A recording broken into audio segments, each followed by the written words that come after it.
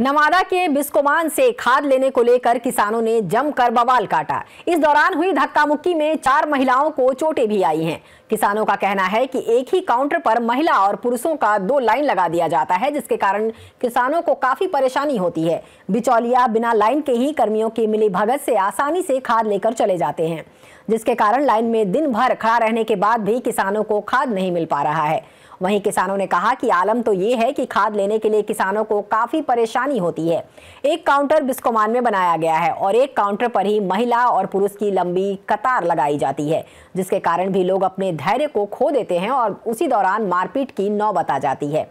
हंगामा की सूचना पर पहुँचे सदर एसडीपीओ ने कहा कि लाइन में आगे पीछे होने के कारण कुछ लोग आपस में उलझ गए। जिसके बाद पुलिस बल के सहयोग से सभी को सही तरीके से लाइन लगाया गया जिसके बाद आसानी से लोगों को खाद मिल पाया।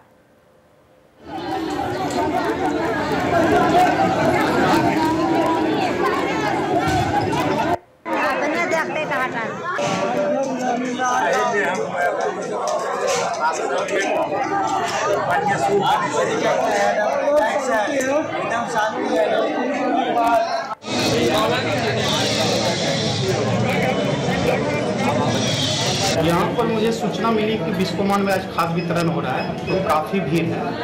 और लोग जो है लाइन में नहीं लगकर जो आगे पीछे करके अपना जो है खाद लेने का प्रयास करते हैं। जिसके चलते जो भीड़ था, आपस में लोग उलझ गए कि हम पहले लेंगे, हम पहले लेंगे। सूचना प्राप्त होती है मैं तुरंत ही हम पहुँचा हूँ उसके बाद सबको जो है पुलिस बल की सहायता से लाइनअप करके और वितरण को सुचारू रूप से करवाया जा रहा है।